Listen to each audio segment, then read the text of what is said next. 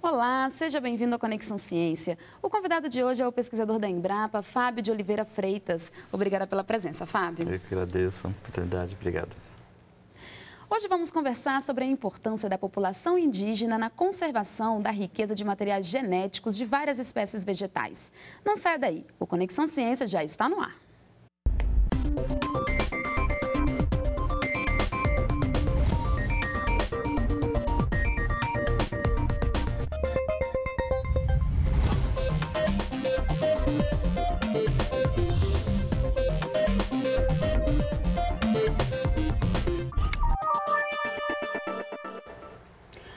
Brasil possui um dos maiores bancos genéticos do mundo. Ele tem capacidade para armazenar mais de 2 milhões de acessos de origem animal, vegetal e microbiana.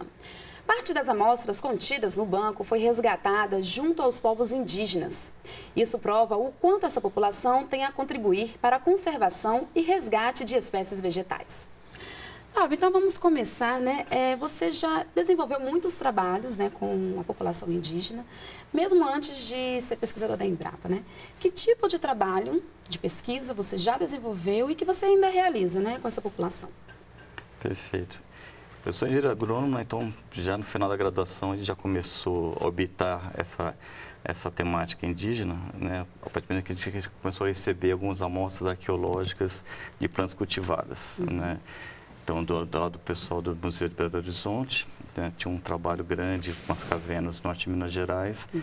e estão começando a resgatar amostras arqueológicas de milho, feijão, mandioca, né, e isso passaram para a gente, né, para a gente começar a estudar um pouco isso aí, para ver a dinâmica do que daquele material, né? De onde que, que aquele material veio, quais populações humanas que cultivaram aquele material. Então, o material tinha 500, mil, 2 mil anos de idade. Uhum. Né? Então, a partir daí, a gente começou já a habitar esse trabalho com populações indígenas. Né? E isso acabou levando a gente realmente, daí, alguns anos depois, a começar a trabalhar com as populações indígenas diretamente, para ver essa questão das próprias roças, dos alimentos tradicionais. Né? Então, meu primeiro trabalho foi lá no Xingu, em 97, né? acompanhando uma, uma antropóloga, a Nobui, né? da USP de São Paulo, para ver exatamente como que é essa dinâmica, essa relação, a, a, planta cultivada, alimento com as populações indígenas. Então a gente teve a oportunidade de ver algumas, algumas etnias ali.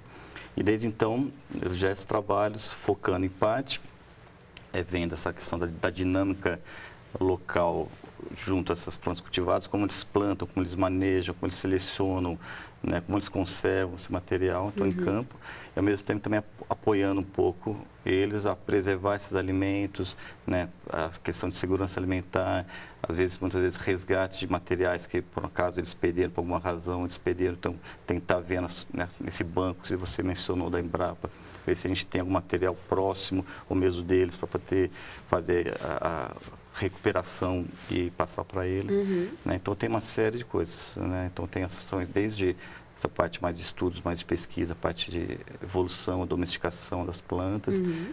e até essa parte mais de, de, apoio à manutenção de tradições, a, a apoio a eles preservarem né, e terem esse alimento para eles poderem se, eh, se constituir, né, preservar e ter o alimento no dia a dia. E qual a importância né, dos índios é, para a história, a origem e evolução das espécies vegetais?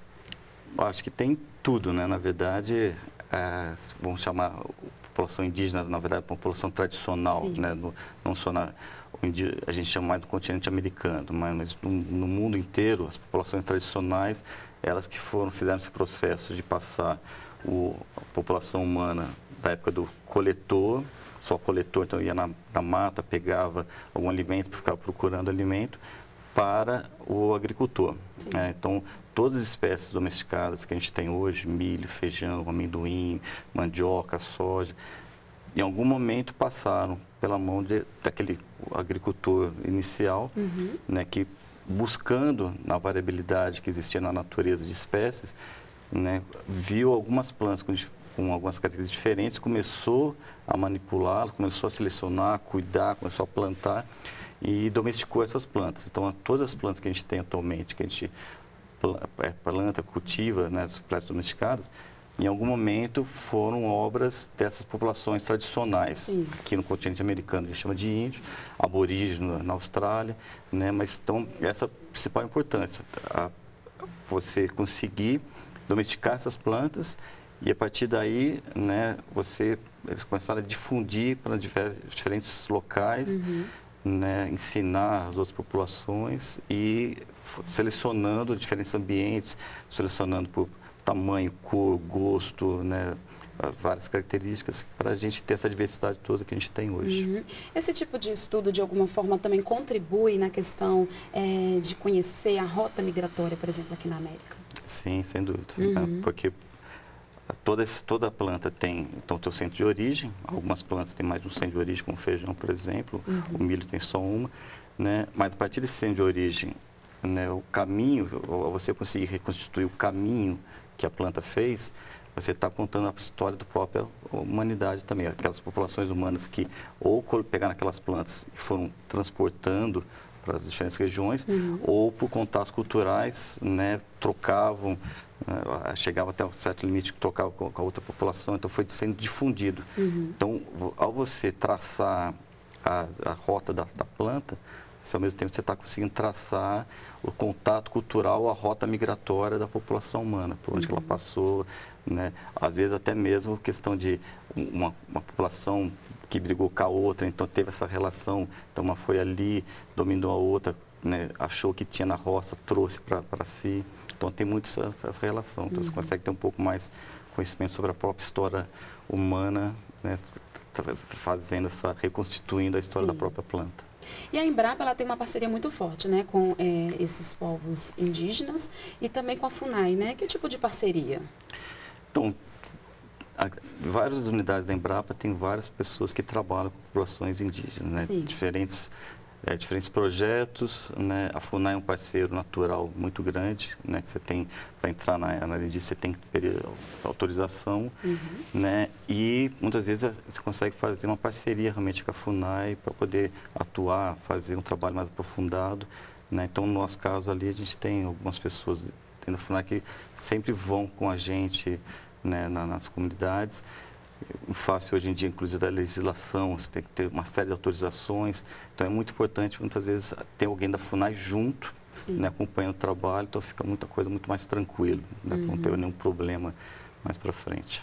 Agora falando um pouco sobre né, o resgate de algumas espécies, que espécies né, que estavam desaparecidas e que conseguiram, é, foram resgatadas né, por, essa, tá. por essa parceria, no caso?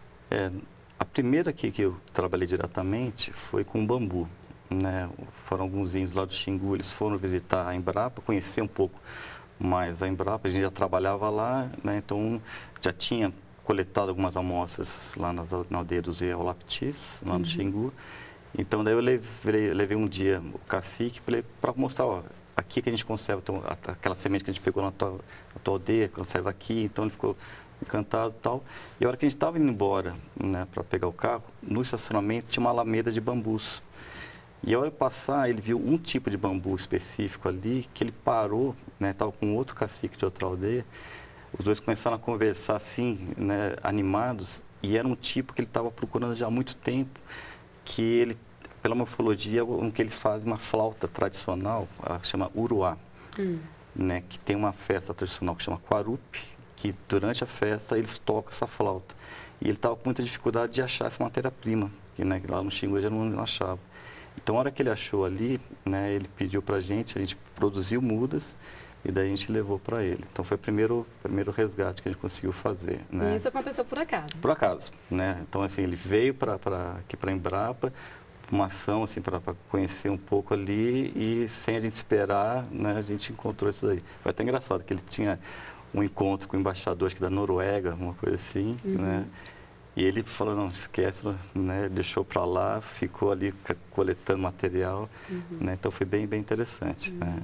Posteriormente teve outra, outra trabalho que a gente fez, um cupá, que é um cipó, né? os índios caiapós, que também é, um, é uma, uma, planta que a gente pode chamar de semi-domesticada, que eles tinham pedido, por questão de contato com, com, com o entorno, eles começaram a migrar muito e essa planta eles acabaram perdendo.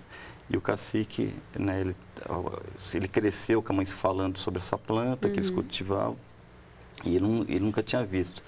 Daí perguntou, a gente tinha aqui na coleção, né, então a gente, novamente a gente fez daí mudas, a gente levou para lá em 2008, a gente levou para a aldeia, né, então foi bem interessante, porque além da planta, ao chegar lá, os mais velhos que, que utilizavam, aí começaram a relembrar histórias sobre a planta né, algumas tradições, algumas músicas. Então a gente escutou algumas músicas sobre o cupá. Né? Então isso foi bem, bem bacana, porque às vezes você resgata a espécie e junto vem um conjunto de, de, de outras coisas. Então, a parte cultural, você, você enriquece novamente ali, porque alguns jovens que nunca tinham nem visto a planta ou escutado aquela história, uhum. os, os, velhos ao começaram a contar, oh, isso aqui fazia isso, isso, né? Então, tem umas tradições. Uhum. E geralmente são eles que procuram a Embrapa para resgatar alguma espécie que Para resgate, normalmente é isso, eles, eles, eles, são eles que procuram a gente, uhum. né? Quando é resgate, né? Uhum. Então, a não ser que a gente já fique sabendo alguma coisa, né? Então a gente pode fazer um, algum trabalho. Mas normalmente, é eles que procuram, a gente tem que tá, perdeu tal coisa, né?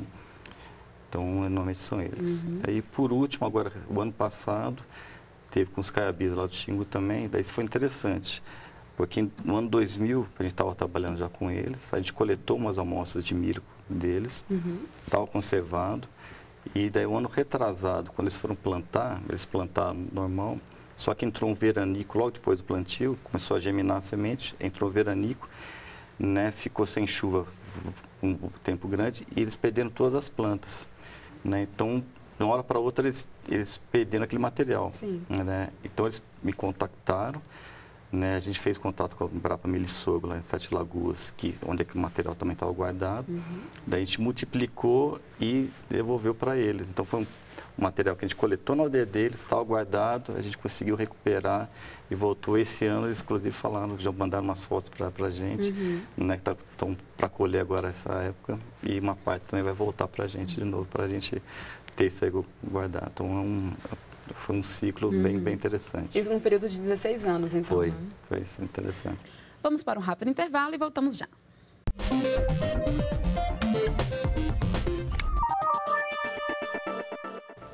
Estamos de volta com Conexão Ciência. Hoje eu converso com o pesquisador da Embrapa, Fábio de Oliveira Freitas, sobre a importância dos índios na conservação de materiais genéticos. Fábio, então existe dois tipos de conservação desse material, né? Que seria o in situ e ex situ, não é isso? Qual a diferença entre os dois? O in situ, de modo geral, você conserva localmente, né? Então, as diferentes espécies alvo que você está querendo conservar, você vai no local onde é que eles estão ocorrendo, seja na natureza, para você fazer num parque nacional, uhum. ou seja, quando tiver populações envolvidas, no local onde é que elas estão é, plantando, conservando. Então, essa é in situ, então, localmente. A ex situ é quando você tem as espécies alvos que você está querendo conservar, você coleta no local e leva para uma câmara de conservação, num banco de germoplasma, né? Então, você está considerando fora do local. Sim. Né? Então, você reúne todos, todas as amostras que você quer num local só. Uhum. Né? A grande diferença é a questão, o Excito você consegue conservar uma grande quantidade no local apenas, né? uma condição mais controlada, só que é uma grande geladeira que você mantém isso aí por muito tempo, né? ali, só que o processo de, de evolução da, daquela planta, ela fica congelada, ela está parada. Sim. Enquanto que você, na condição in situ, você tem uma série de limitações, assim, o risco de perda é, mais, é, é, é grande muitas vezes, só que você está ao te mesmo tempo né, permitindo que aquela, aquela planta ela continue se desenvolvendo, continue uhum. evoluindo. Então, as mudanças que vão ocorrer no ambiente, né, ela também está se adaptando ali. Então, você, você continua o processo. Né? Então, então, as duas são muito importantes para serem complementares. Sim. Uma você reúne várias, né? só que você separa no tempo, uhum. e a outra você continua esse processo, além da relação com as populações. Uhum. Né? Fábio, recentemente foi divulgado na revista Science né, é, as conclusões de um trabalho né, do qual você fez parte, que fala sobre a, uma nova versão da história do milho. Fala um pouquinho para a gente sobre esse trabalho. Perfeito. Então, nessa que saiu, a gente faz um trabalho sobre a história evolutiva do milho, né, que já tinha uh, muito conhecimento, uh, o local de origem, uma, algumas coisas sobre difusão, quando foi o rio, né? E, no caso, é, alguns dados que a gente conseguiu levantar um pouco mais, né, ver essa questão de a partir da, do, da domesticação do milho. Né? Então, por exemplo, o milho foi domesticado no México, uhum. 9 mil anos atrás, a partir de um ancestral silvestre, né? que completamente diferente. Temos a arquitetura, a, a, a, a espécie silvestre, né? parece muito mais uma planta de, de, de cana-de-açúcar do que de milho. Sim. Né? E, então, durante o processo de domesticação, as populações humanas elas foram selecionando uma série de características que deu o milho.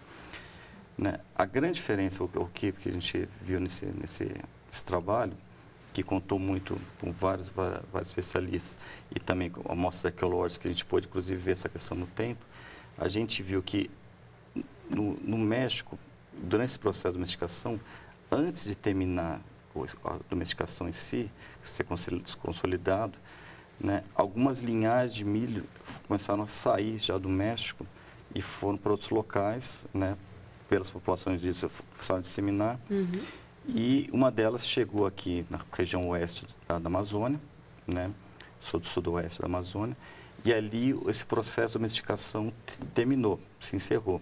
Né? Então começou no México, né, saiu uma linhagem com, os, com toda a essência tá, do, do, milho, mas ainda com muitas características do, da espécie silvestre. Sim. E só na região amazônica né, que encontrou um ambiente, as populações ali foram selecionando, terminaram de selecionar né, para características do milho que a gente tem hoje. Né? Então, uhum. Então foi, a gente viu que teve um, um, um local né, secundário onde o milho terminou esse processo de domesticação.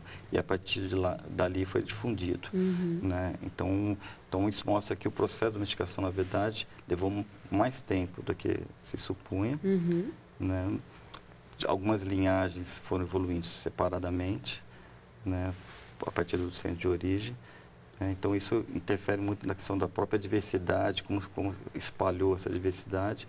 Né? Então, por exemplo, um processo que você está querendo resgatar alguma, algum, alguma característica mais ancestral, que antigamente a gente pensava que só tinha que ir ali no centro de origem, ali no México mesmo, hoje está para perceber que isso aí está um pouco mais espalhado. Você consegue uhum. encontrar essa, essa característica em outros locais uhum. também. Mas isso não quer dizer que o milho ele tem é, duas origens, no México e aqui na Amazônia? Não, não. não a origem é uma só. Uhum. Né? Só que a consolidação consolidação dessa, dessa domesticação uhum. ocorreu fora do centro de, de, de origem do milho para esse material que estava aqui na América do Sul. Né? Então, ele chegou na América do Sul uhum. há 6 mil anos atrás, né? Antes de, de, de, do, no México ter consolidado. Então, a gente encontra material, por exemplo, no trabalho a gente tinha duas amostras arqueológicas do México de 5.500 anos.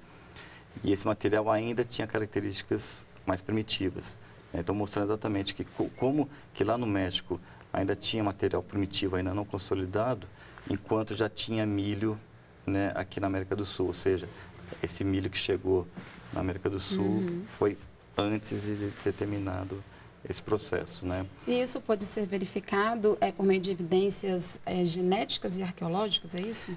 É, a gente utilizou várias amostras. Então, tinha amostras atuais, uhum. amostras de populações indígenas que preserva, conserva ainda hoje, e várias amostras arqueológicas. Então, tinha, tinha amostras do México de 5 mil anos, tinha amostras aqui do Brasil de mil anos, tinha amostras do, dos Andes, do Chile, né, da, da, Argentina.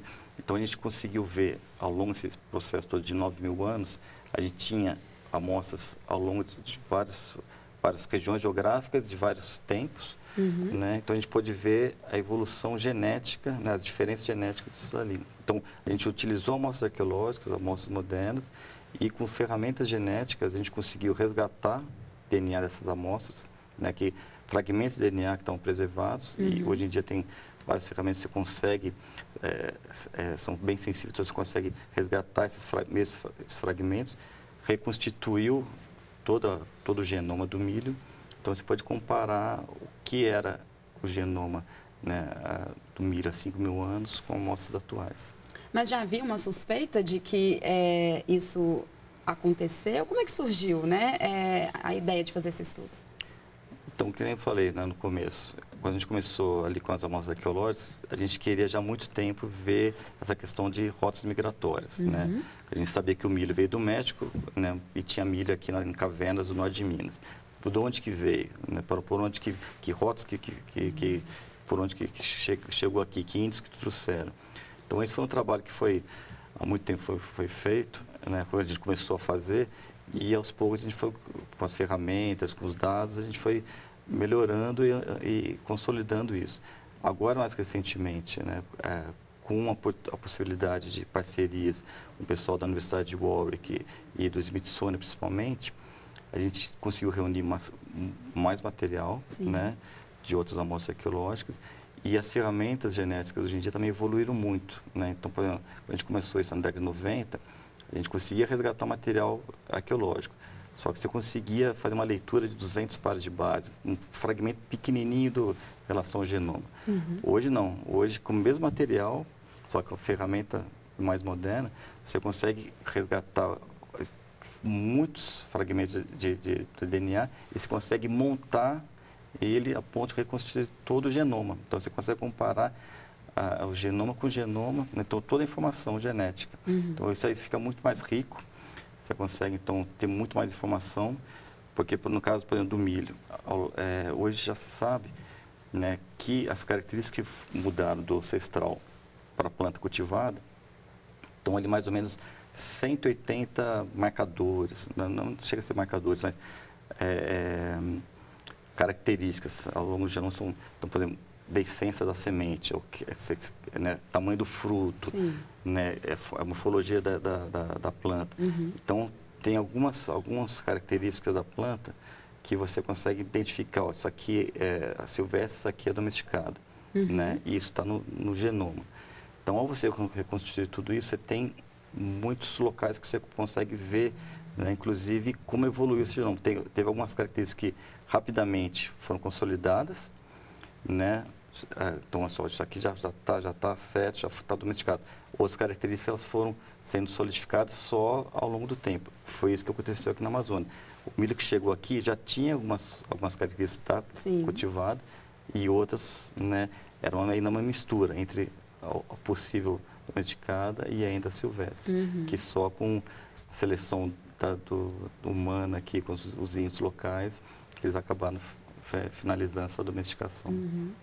É, e o estudo ele envolveu uma equipe multidisciplinar, né? É, qual, qual, é a importância né, de envolver várias áreas no estudo desse? Acho que hoje em dia é essencial. Uhum. Né? Antigamente, acho que você conseguia até fazer de A a Z no laboratório, com um pouco de mais trabalho, você até conseguia. Né? Hoje em dia são tantas áreas, né? e cada área aprofundando tanto ali que você precisa ter uma equipe né, multidisciplinar, uhum.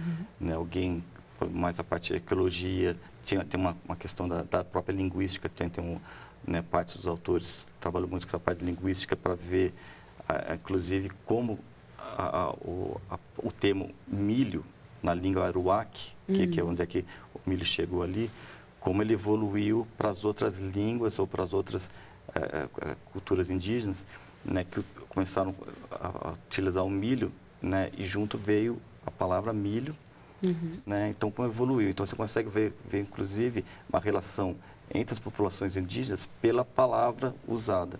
Né? Então, o milho numa, numa tribo indígena é, é, é, de um jeito, na outra. Então, você consegue fazer essa correlação. Uhum. Né? Então, tem, a, tem um pessoal muito forte em genética, tem a parte de bioinformática. Então, cada um com a sua especialidade né, contribuiu para aprofundar muito os dados que a gente tinha, uhum. né, e ao compilar tudo isso, né, a gente conseguiu levantar esses dados. No né? caso específico, então, do estudo, qual foi a importância né, da, dessas populações tradicionais aqui da, do, da América? Então, parte a gente conhecer um pouco mais das próprias populações, né, a gente viu que, principalmente a região oeste, ali do sudoeste do, da, da Amazônia, né, que já tinha vários indícios, indícios de ser uma região muito importante para a domesticação de plantas, para, manipulação de diferentes, é, como mandioca, por exemplo, né? viu a importância também com o milho, né? então mostrando que aquelas populações que existiam ali, vai ser muito forte essa questão da agricultura, o conhecimento deles né, era muito forte, né, uhum. porque chegar uma planta nova, eles pegaram aquela planta, né, se adaptaram às condições locais, né, selecionaram para conseguir criar o milho igual a né, outras populações que estão infiltrando no México, mostra que realmente eles dominavam muito o ambiente e o conhecimento da, das plantas. Né? Então, isso é, uhum. é, mostra o quanto que eles sabem. E o trabalho também atual com as populações indígenas, você percebe o quanto que conhecimento né, que alguns, alguns agricultores têm, né, que a gente chama até de guardiões, né, dado o conhecimento que eles têm desse, desses materiais, né, a dinâmica da, da planta é, é, muito profundo. Né? Uhum. Né? Às, às, vezes a gente acha que não, é, é, são só agricultores normais ali, mas o conhecimento que eles têm é muito grande e é, é uma satisfação muito grande trabalhar com essas populações. Tá certo, Fábio. Então, eu agradeço a sua presença aqui no nosso programa e parabéns pelo trabalho que você realiza junto a essas populações. Eu que agradeço a oportunidade de falar sobre esse assunto e mostrar a importância disso. Ok. Obrigado. O Conexão Ciência termina por aqui. Confira os dias e os horários das reprises na página da EBC ou da Embrapa na internet. O programa também está disponível no canal da NBR no YouTube. Obrigada pela companhia e até a próxima semana.